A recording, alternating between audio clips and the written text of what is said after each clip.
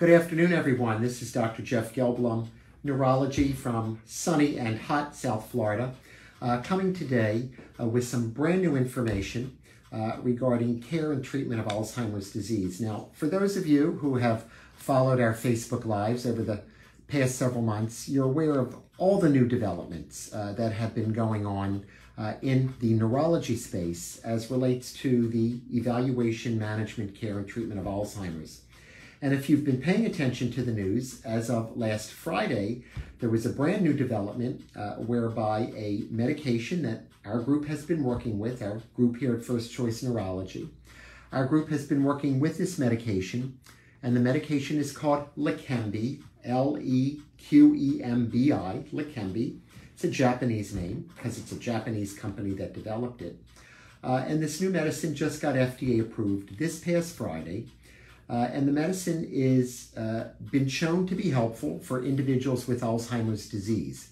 Now, we've had other medicines for Alzheimer's disease, and for those of you who have uh, watched us before, you know we've talked about drugs like donepezil, which raises up brain levels of acetylcholine in hopes of improving memory. And you've heard of us talk about another medicine called Namenda, which drops down the level of glutamate, which is also uh, important for, for brain function and memory. But those medicines don't really do anything to impact, to modify the progression of the disease. So that's why this news that just came out this past Friday is so exciting to all of us in the neurology space. And I would say it's probably as exciting as when we first got uh, treatment for HIV. Remember, many years ago, uh, AZT came out, and that was the first treatment that could actually impact uh, the deadly trajectory of AIDS. Well, we're kind of at that same point now in neurology where we've got a whole new class of medications that are FDA approved to modify the decline of Alzheimer's disease. these drugs are called anti-amyloid drugs. And the way they work is they block the, uh, the formation of amyloid on the brain. Amyloid is a plaque, it's a protein substance. Uh, and when the amyloid sits on brain cells, it's kind of like bubble gum mucking up the works. So we've got now a whole new class of FDA approved medications that are anti amyloid. They're injections, meaning you go to one of our infusion labs uh, and you receive an infusion of this antibody, monoclonal antibody, that is specifically designed to scrub off the amyloid plaque off the brain. And of course, you know, the reason why you like listening to me as your neurologist is because I'm bald, so I can point to every area of the brain that's involved with whatever treatment we're involved with. So that's why I always go to a bald neurologist. But with that being said, uh, the medication that just got FDA approved has been shown to reduce the progression, to slow the progression of Alzheimer's disease and in fact, it improves your cognitive functioning, improves your memory, your focus, your attention, all of that. So it really is a game changer uh, in the field of neurology for those of us who treat Alzheimer's patients. So I'm here today to tell you how one goes about uh, getting this medication because it's not as easy as it seems. Uh, first of all, you need to have the diagnosis. So for any of you watching, if you or a loved one are impacted by Alzheimer's disease, it's very important that you, that you pay attention to what I'm about to tell you. You have to go to a neurologist, and you have to go to a neurologist that is specially trained, like myself, uh, in the evaluation and management of Alzheimer's disease specifically.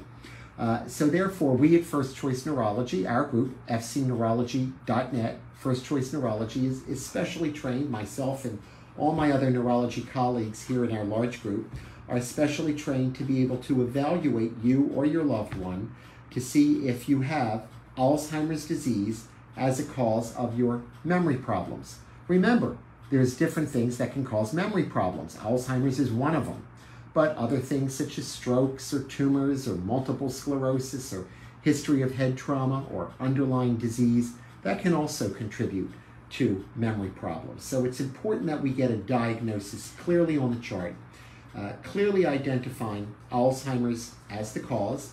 And then the next step is to get what's called an amyloid PET scan. That is a specific type of brain scan, and what it does is it looks at the amyloid plaque on the brain. You're injected with a little bit of medication, you go into the scanner, uh, we look at the images that the scanner presents, and if there's light up on that brain scan, then we can say that there is presence of amyloid. And if there's presence of amyloid, that tells me, as well as my other neurology colleagues, that the cause of the mild dementia is Alzheimer's, Alzheimer's pathology, because Alzheimer's pathology is amyloid based. Once we have that information, then we can start to treat. Now, the treatment that we use right now, Leqembi, the drug that just got FDA approved, we've been using this drug since January uh, as a preliminary approval process. Uh, that drug is infused every two weeks. The good news is that Medicare just came out with its coverage determination. And this is really phenomenal news. So, the way it works is you go to the neurologist, you get yourself tested. Uh, if the neurologist comes up with a diagnosis of Alzheimer's based upon the PET scan findings, we could also do a spinal tap for individuals who can't get that PET scan. But be that as it may, we've got all sorts of good tools where we can come up with a specific diagnosis of Alzheimer's cause of the dementia. Once we have that information at hand, and assuming that you're mild, and by mild I mean you have to score pretty good on a mini mental status exam or another type of cognitive test that we do right in the office, chair to chair, doctor to patient. Uh, if you score pretty good on that test, meaning that you're in the mild setting, then at that point you're a candidate for the medication. And beginning July 26th, Medicare will start to cover it. And if Medicare covers it, that means that other private insurance covers it as well, because Medicare is usually the lead coverage entity, and then all the other private insurances like Blue Cross Blue Shield, uh, AvMed, Cigna, Aetna, they'll all follow suit. Uh, but with that, with that being said, once you are in the mild setting, and once we have confirmed Alzheimer's amyloid pathology, at that point uh, we would initiate uh, treatment. Now we have one of our questions. I always like to break a little bit for questions. So one of our participants today uh, Becky asked, uh, does it help dementia? Well, yes. We are talking about Alzheimer's dementia uh, because that's the specific dementia that this drug helps, and that's for which it's FDA approved. So I just can't give it to you if you've got uh, dementia from a stroke or dementia due to underlying medical disease or dementia related to Parkinson's. It doesn't work for that. Uh, the drug as it stands now is FDA approved specifically for dementia of the Alzheimer's type and more so mild.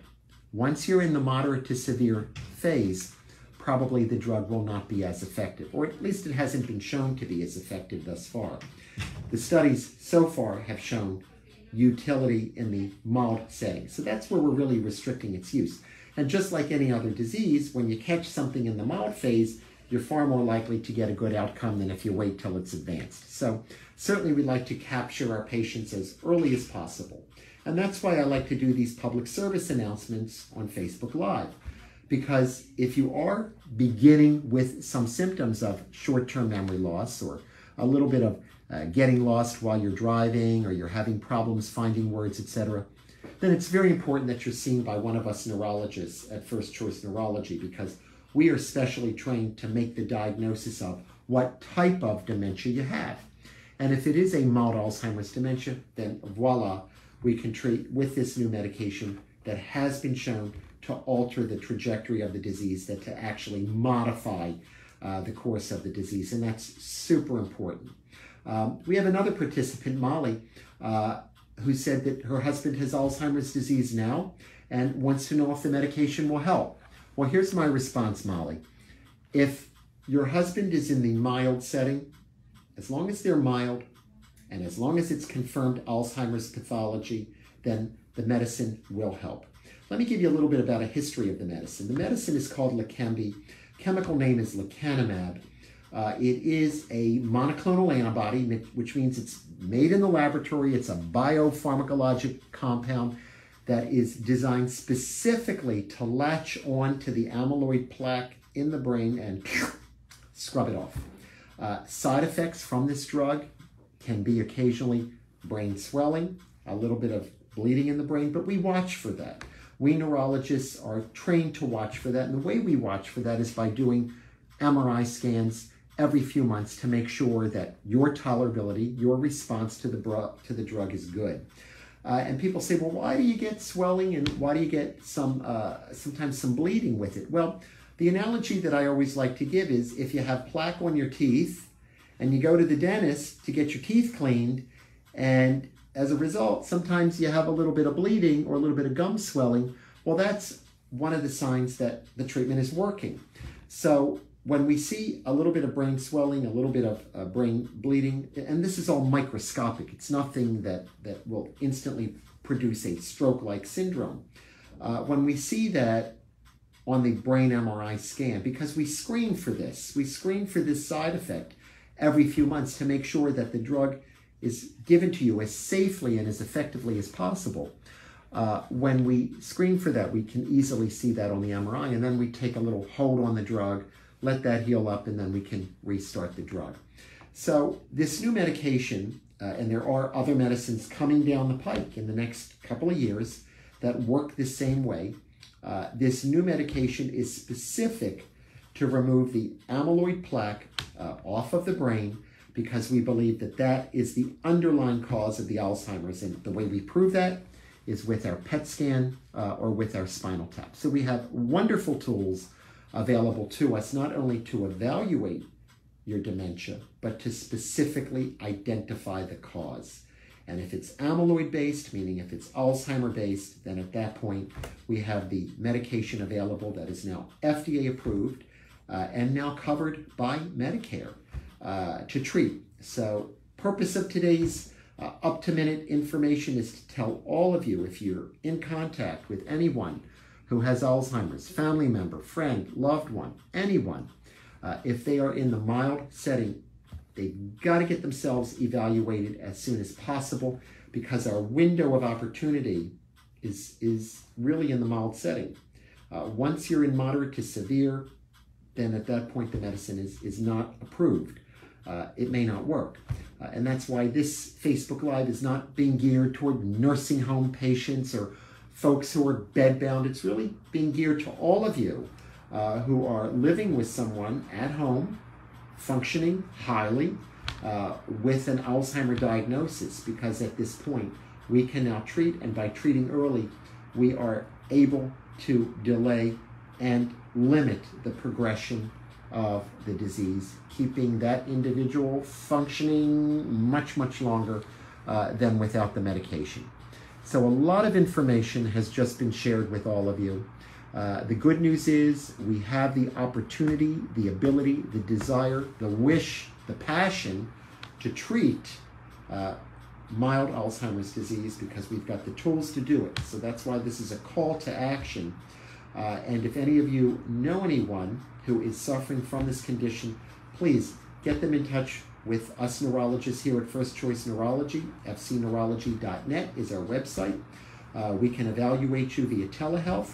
If you just want to pick up the phone and do what's called a neuro chat with one of us neurologists to learn more about the condition or what to look out for or are you at risk, then go on our NeuroChat site, neuro2go.com, N-E-U-R-O, number two, go.com, neuro2go.com, where you can spend uh, some time uh, chatting with either me or one of my neurology colleagues here at First Choice Neurology. Uh, and at that point, we'll tell you what you need to be on, on the lookout for uh, in terms of whether it's Alzheimer's disease or something else. And then most importantly, for any of you who are logging on today and watching and have a parent who may be suffering from dementia and you're wondering, hey, could I be at risk if my mom or dad uh, has an Alzheimer condition? Well, now we've even got a genetic screening test uh, that we can use. It's called a GenoScore, and it's a saliva-based test, as simple as spitting into a little test tube. We send the, uh, that sample off to the laboratory, and in approximately four to six weeks, we get back a GenoScore, which actually tells you what your risk of late onset Alzheimer's disease will be. And, and we can do this whether you're 83 or 33. Uh, so that we can share with you uh, to tell you about not only your family uh, member who has Alzheimer's, but what your relative risk would be going forward. And then, of course, if you do show up as positive on that GENO score risk, uh, then we can intervene with all sorts of modifications, uh, healthy mind, healthy diet, uh, types of, uh, of recommendations for you.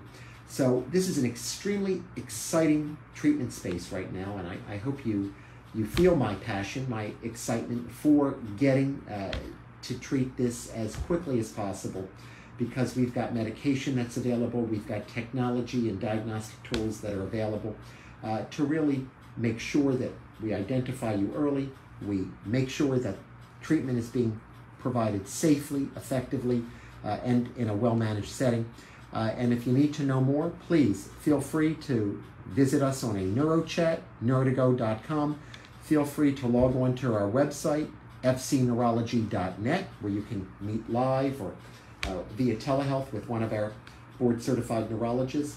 And again, I'm going to be coming back to you a lot. You may actually get sick of me because I'm going to be bringing you up to the minute information about uh, exciting developments uh, in this disease. So, time is of the essence. Uh, if you know of someone with Alzheimer's, loved one, family member, neighbor, friend, please put them in touch with one of us uh, because with this new approval this past Friday, we now have medication that can impact and modify the progression of Alzheimer's disease, and this has not happened before. So we are at a bold new point uh, in the treatment of dementia. That's why I'm bringing you this information today on Wednesday because the information isn't even a week old. It just came out last Friday. So I appreciate your time and attention. Feel free to visit me uh, online, neuro2go.com, set up a neuro chat, uh, or feel free to come into the office. I'm here in Aventura, Florida. Uh, my other colleagues are throughout the state of Florida, so we're available and willing to treat and able to treat and eager to treat with regard to the accurate diagnosis and management of a dementia illness. So I appreciate your logging on today. Please share this message uh, with your friends. Uh, and then this Facebook Live will be displayed on our website, fcneurology.net, uh, for the next several weeks. So if you missed it or they missed it, no worries, just log on to the website and you'll be able to see a recap uh, of, of today's discussion. Appreciate your time and attention. And I will be back to give you more exciting medical updates uh, in the field of neurology. So have a great afternoon. Uh, enjoy your Wednesday. Uh, try and stay cool because a lot of the U.S. Uh, is sweltering right now. At least I've got air conditioning here in, in Aventura, Florida. Uh, but uh, I will be back to share more information with you as, it, as it develops. So thanks for your attention, and I will see you all soon. Have a great afternoon.